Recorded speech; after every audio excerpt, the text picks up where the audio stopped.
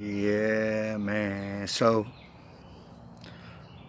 I don't know where these little people come from. Most of the time, um, they don't really have a name.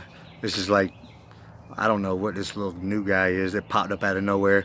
He's watching, um, he's watching some of my most popular videos um, and saying stuff like, um, I'm a sad, lonely, uh, pathetic person or something, and there's no proof in nothing or nothing.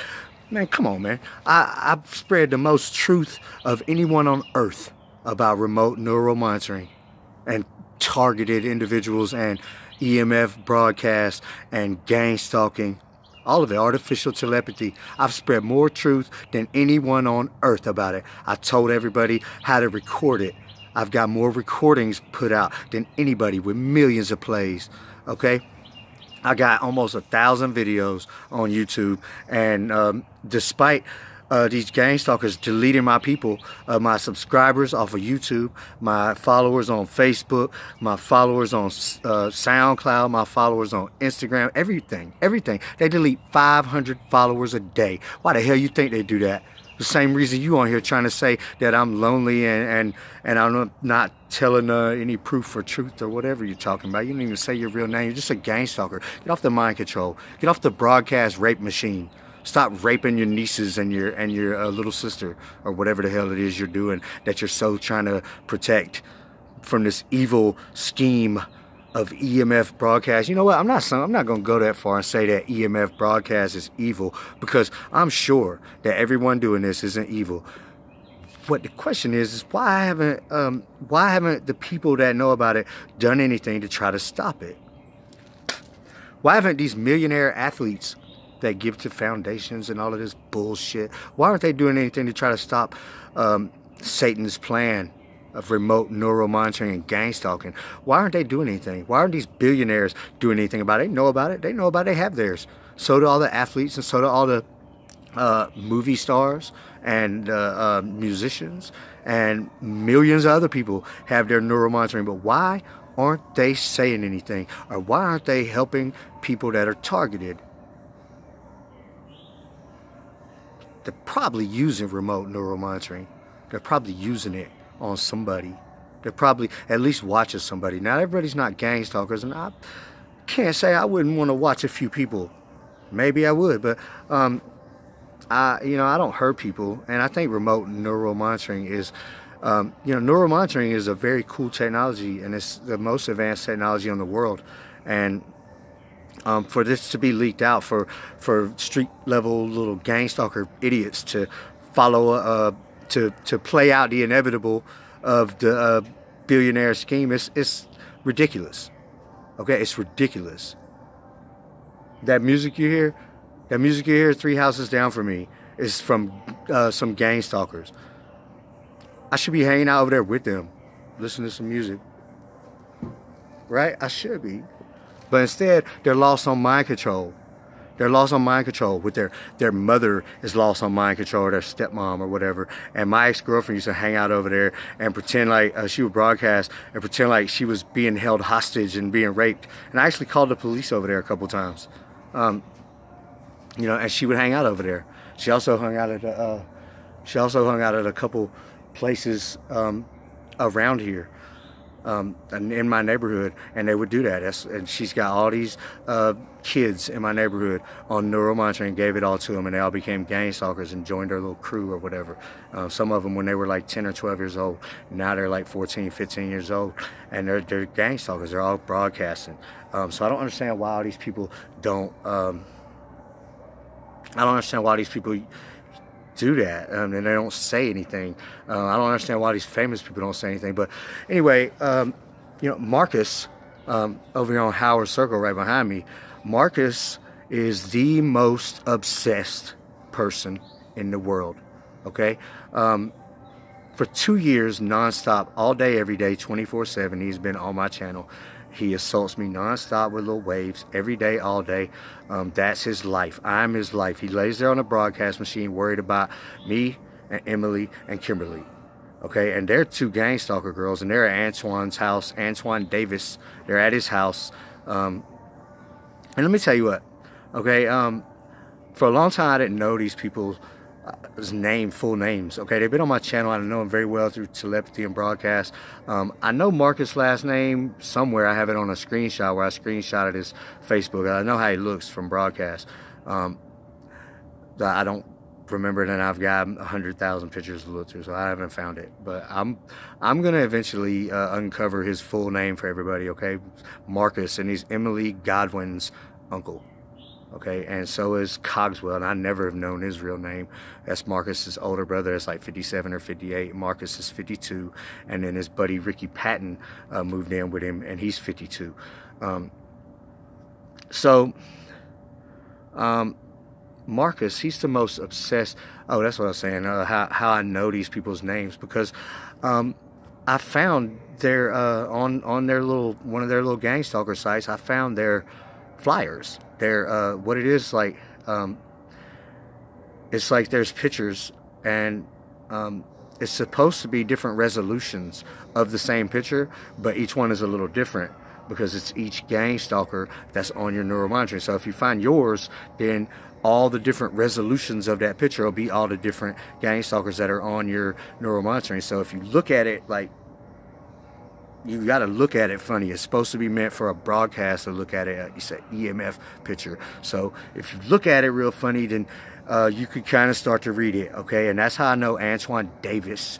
Um, and that's how I know Emily Godwin because she used to say her name was uh, Emily McElwaney okay and that's that's just another guy this guy bobby that was bobby mcelwaney that i'm not i'm not totally sure that he's a gang stalker but i'm pretty sure he's got his neural monitoring i've seen him broadcast but they he dated the same girl that put me on remote and uh, she probably gave it to him um, because his neighbor this guy cj um, definitely has his um, because he, him, and this girl Angie Kissinger, and uh, and his girlfriend Paige, they had this little plot to kill me when um, when I went to uh, this casino with them because I like to infiltrate these gang stalker crews. So they had this little plot to kill me, and they were all broadcasting, and uh, they've been on my channel plenty of times. So I know CJ had his, and he was Bobby's neighbor. So I'm pretty sure Bobby had his, and Bobby used to date the same girl that put me on remote. Um, so she probably gave it to him, and she or he probably gave it to CJ. I'm sure CJ probably gave it to his girlfriend Paige, and um, you know, and they're all gang stalkers. It's, I'm pretty sure that Bobby is. I don't know. I don't know. He's never gang stalked me, but I've seen him broadcast. Um, then there's Amanda Godwin, um, Robert Lackey. Um, there's a bunch of them, okay? But the reason Emily used to say she was Bobby's little sister, Emily McElwaney. But when I finally uh, decoded the, the little flyer, it was Emily Godwin, okay? And then um, they, she started uh, broadcasting with her daughter, Anna. And um, one day I seen the, the, uh, the little broadcast and advertisement when she had Travis, Travis Hill. Okay, he's he was a friend of mine that um, hit me up and asked me. Uh, he was like, because he was messing with the same girl that put me on remote neural monitoring, and she was, he's like, I think she got me, man. I think she put me on remote. So I got all the messages saved, and um, I told him about everything, how it works. And Next thing you know, they gave it to him. Okay, so um, he became a gang stalker with them. All right, and he came to my house uh, before I knew they gave it to him, and we were talking about it or whatever. But he was in my bathroom, caught him in my bathroom with a mind control, um, and uh, he was in there and if you're on a mind control, you can broadcast and control your broadcast within close range. Okay, you don't have to be on the broadcast machine unless it's like a distance, and then you got like maybe a less than a mile still. Um, but he was on the broadcast. He was on the mind control, not a broadcast, but he was in there broadcasting um, because he was close range into my in my bathroom with Emily Godwin uh, doing a virtual thing. It was like a gang style because he's at my house, so uh, they want to do a live stream of him because it, uh, you know Emily was the girl that I had a big crush on for a while. So um, she's not my ex girlfriend that put me on it. And I got another girl that's in their crew that I have a child with, and I won't say nothing about her because um, because I have a child with her. And that's the only reason she's not on blast all day, every day, like the rest of them. Um, so anyway, Emily and Travis were broadcasting, and she had the neuro, all these neural monitoring uh, links and stuff, and and uh, little profiles laid out, uh, EMF broadcasted on my floor.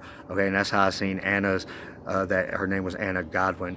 um, and that's supposed to be Emily's daughter. I guess, and supposedly she's 14 years old. Uh, but I've seen her broadcasted several times, and we haven't talked much. And but that's the only way I know her at all. Um, is through about three or four different times when she was broadcasted, and I know that's. Um, or I know that's what the last name said on the broadcast, Anna Godwin.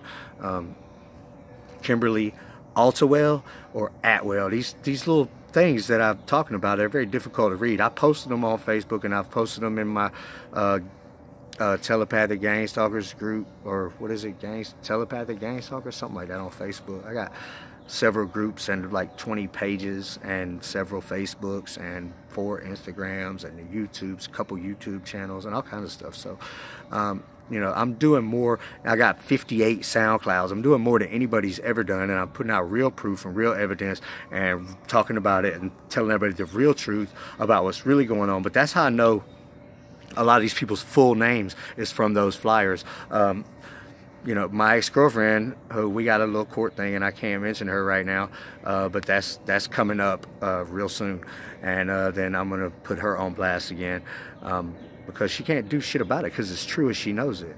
Um, so she's not gonna say a damn thing about it. Um,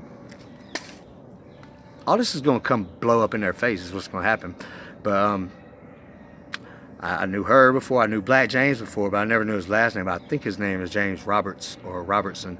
Um, and I've posted pictures of him. I knew him through her before. Ashley Ramirez, I knew her before they started gang stalking me through her. She had me on since 1997, but um, but I, I, didn't know it, and I was actually seeing her again because I was seeing her back in back then, and then I was seeing her again, and uh, I seen her again a little while in 06, and I seen her again uh, started again at 13, 2013, and then in 14 they started gang stalking me a little bit, and then like I didn't understand it, and then in 15 I started understanding it, and that's when they turned on telepathic and full blown gang stalking, and it just went bananas. So um, that's uh, some kind of in my mouth. Um,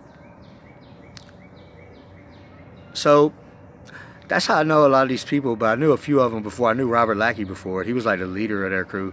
Supposed to have been supposed to have been the leader of their crew, but now the crew is divided. It's like a black crew and a white crew. Is these all these uh, children, all these 12 year olds that they put on started to grow up and be 14, 15, 16, 17 years old, and they're they're um, started their own crew with Antoine Davis. So it's like the black crew. They don't they don't uh, do nothing with the the white people that used to be in our crew, except for the girls, uh, Emily and Kimberly Altawell. It's Altawell or Atwell because they're hard to read. These things are hard, very difficult to read.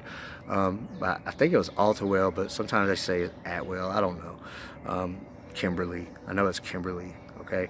Then there's uh, another girl named, uh, I think her name's Kimberly, but they call her Emma, or maybe her name's Emma, and they just try to confuse me. I don't know. And then Cogswell, uh, Marcus' older brother, this 58 year old one he's got a girlfriend or a wife that's supposed to be named kimberly too. So there's several kimberlys and um, you know there's there's uh, there's a lot of people. I could name 20 or 30 more people, but those are all the main players uh, that live right around me and, and, do this thing. Antoine's got a 14 year old little brother that's very involved, um, and Emily's supposedly in love with him, and she's like 30 something.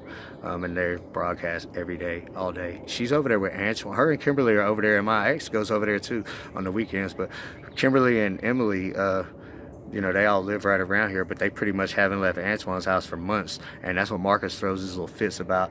Uh, he's obsessed with them and he's obsessed with me. And uh, I think they kind of like me. And that's why all the guys just keep them on mind control and broadcast all the time. They're scared they're going to give it to me. But, um, you know, I don't want them anyway. But um, they're over there at Antoine's house. And, and there's a, probably uh, about 10 guys that are there commonly, like most of the time. And um, I think probably seven or eight of them are uh, 17 to 13 years old in that range. Um, and that and these girls are like I think Kimberly's like 27 and Emily's like 31 or something like that. And then my ex that put me on this is like 39 or something like that. So uh, she's she's a good bit older than me. So um, you know that's that's what's going on. But um, I don't know why just Marcus is so obsessed. Uh, I was going to talk about that, but I talk about that all the time. Guy Smiley, the gang stalker. I call him Guy Smiley because the way he tries to pop up with a little announcements all the time. Like when I'm thinking, he'll say my thoughts like some kind of announcement, like he's like he's doing a talking head news show, and uh, it's very guy smiley-ish. So I started calling him Guy Smiley. And Cogswell wants to steal the Guy Smiley uh, gang stalker name because he says it's a famous gang stalker name. So he tried to pretend like he was Guy Smiley for a while, but I know the difference. I mean, their personalities are different. He sounds more like a, a more like a gay clown with a little high pitched voice or something like that. It's really retarded. He's 58 or seven and a half. He like say I'm 57 and a half.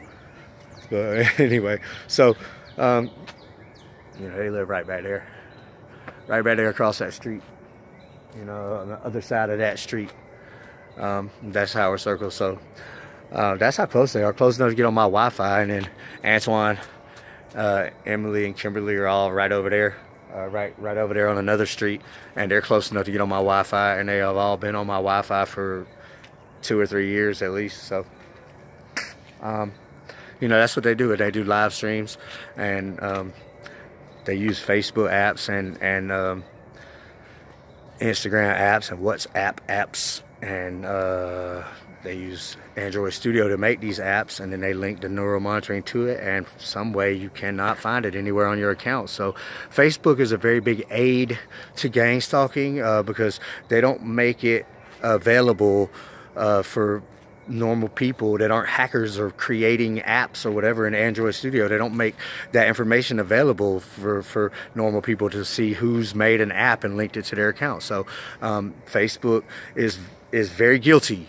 Uh, Zuck Zuckerberg, Mark Zuckerberg, is that his name? He's very guilty of of concealing this because they know what's going on. They know that Facebook and Instagram and WhatsApp and uh, Facebook developers are the, the biggest part of gang stalking because that's what they use to live stream. So, uh, Mark, you got billion dollar lawsuits coming your way, I promise, because you haven't made this information available. I've contacted Facebook 20 times about them deleting my followers and doing this to, to me with little apps and stuff like that. And as soon as I try to learn about it, you know, Marcus is all over my damn devices. Him and Ricky and Emily, they've crashed so many devices of mine because they get on every device I have. Um, and, uh, you know, if you're on remote neural monitoring, it's hard to stop them. So, um, you know, they've crashed so many devices and it's very expensive to, you know, to, to buy new laptops. And I got, I got a pile of laptops I can't use.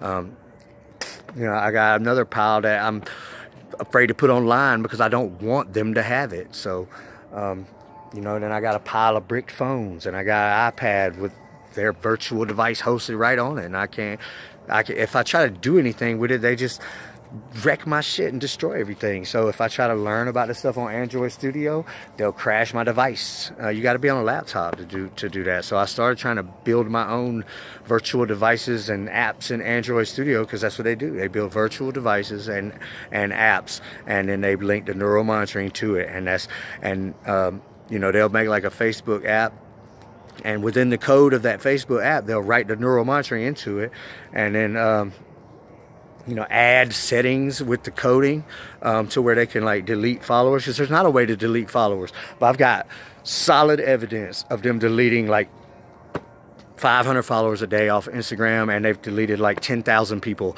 off of my Facebook accounts. And all of these people ain't following me because I'm cute or something. Like, look, I ain't even shaved in like in like four days or something. It's ridiculous, right? I just go to work at the at the UPS uh, and it sucks. And um, I have to get up at like four o'clock in the morning, and I go there, and um, there's a couple of cute girls work with me though. So anyway, uh, my availability is wide open though. That's all I'm saying. I like to hang out at the, um, at the Hooters of the street, and I talk to all of them girls, about ten of them, and. Uh, they all want to follow my Instagram, want to know about all this crazy stuff, and blah, because I sit up there all the time and uh, they hot for real. Uh, but you know they, I don't know, they ain't came through yet. So my availability is wide open. I've been going to a lot of raves lately. Um, you know, I've always went to a lot of raves for the last 20 years since I was a kid trying to go to a damn rave. But um, you know, I, I, know a lot of people out there too. I'm definitely not lonely for that one jackass that was saying that earlier. Uh, I do a lot of things and um, I go out every weekend. All right, I got I got some beautiful daughters, and um, you know, I my family's not against me. All right, I got a I got a job. I work with some pretty girls, and I got some friends, and everybody wants to, uh, you know, talk to me all the time, and and they all think I'm becoming famous, and um, you know, it's it's not gonna be long before something breaks and something happens because it is I hold up to this too well. I understand how it all works way too well. And I know all these people and I can see their broadcast half the time and it, it's just a disaster for them. And for them to try to look, Marcus and his brother, they're always like, You're never getting that remote neuromonitoring, you're never getting it. Because I'm their life. I'm their life, but I promise you I am going to. I promise you. And these two idiots and the Ricky too, and Emily, there's about a group of about probably about eight of them um, with a subgroup of about 30 more that spend their damn whole day every day trying to make sure I don't get it. I don't even look for it anymore. I'm having too much fun just campaigning against them. Um, you know, but the court cases are about to start because I'm about to file a lawsuit about this uh, this whole follow. I'm gonna start doing a whole bunch of damn lawsuits. If I can find a lawyer, if you're a lawyer out there, I promise you, I've got more evidence than anybody else in history for remote neuromonitoring. I got 200,000 audio recordings. You can hear them very, very well, perfectly, and so many of them. Um, it tells a story sometimes. It tells you exactly what's going on. Um, you know, they're all broadcasting sex to me and everything. I got millions of, not millions, I got uh, hundreds of thousands of videos and pictures. I've been doing this for like three years. Plus, before that, you know, all my videos and pictures would show it too with the proper editing. But once I learned how to do it, and then, um, you know, I know what I'm taking pictures of. So, you know, I'll, I'll, get the editing techniques down. I'm getting better at it every day. But, um, you know, the audio, I learned how to record it accidentally, and then I told the world. Um, and then, you know, the rest of it, it's like I got, I got so many. I got thousands of screenshots where they're just deleting my people. Um, I've got probably hundreds of log files where they're all over my internet. Um, you know, and I've been compiling this stuff. I got like six terabytes of stuff and, and on multiple drives. Um, you know, so external stuff, so they can't get to it. Um, so if you're a lawyer out there, um, there's going to be a whole lot of money involved with these lawsuits against, um, you know, entities and and county law enforcement and city law enforcement, all kinds of stuff, uh, and these individuals. And some of these some of these people uh, got a lot of money. Uh, the girl that the girl that uh, put me on remote, uh, she's she's got a, a, little fame behind her. Not really. Um, she's not really famous, but she's she's uh, been involved with some things that make her known before. So you know, the lawsuits are coming against her too. Everybody's going to get it. But Marcus and, and his brother are sitting over there like some crackheads. Uh, you know, I believe they shoot meth in their veins and smoke crack, really. I think they do. Um, but I'm not sure. I know they're on this broadcast machine all the time and they're, I'm their whole life. And they're so worried about me getting my neural monitoring. What do they plan on doing? I mean, they're like 50 something years old and they just lay there on a broadcast machine worried about me 24 7. It's ridiculous.